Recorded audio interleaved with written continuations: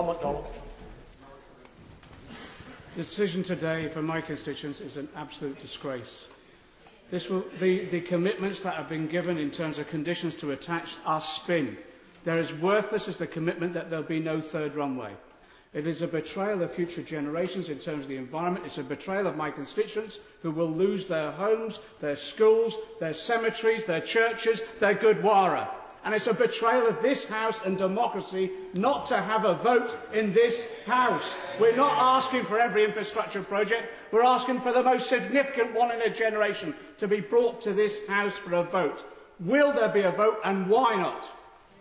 I've made clear, I've made clear the position of the House in relation to these matters. It is a long-standing position that the House does not vote on uh, quasi-judicial or planning matters, but nevertheless, I entirely understand and my honourable friend puts his case uh, with his customary passion on behalf of his constituents.